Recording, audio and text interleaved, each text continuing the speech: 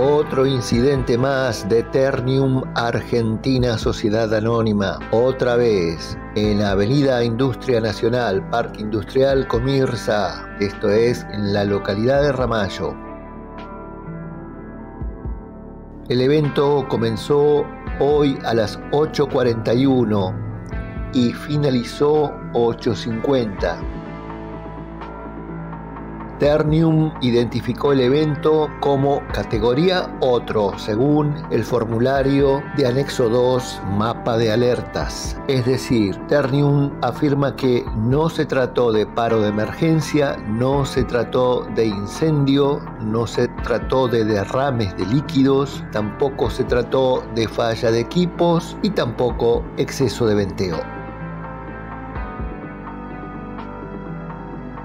Ternium, sin embargo, identifica impactos ambientales generados por el incidente. Ternium dice que hubo ruidos, humos y emisión de gases. No hubo olores, no hubo derrame de vuelcos y tampoco hubo otro tipo de impacto ambiental.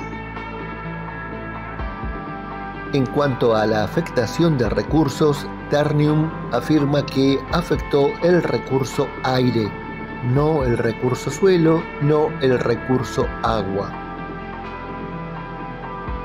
Como describe el evento, Ternium lo describe de esta forma. Apertura de válvulas de alivio de presión debido a canalización repentina de gases de alto horno número 2 como describe Ternium las medidas tomadas para mitigar el impacto. Ternium afirma lo siguiente se toman acciones en el proceso para estabilizar operativamente el horno. Nada más hasta aquí.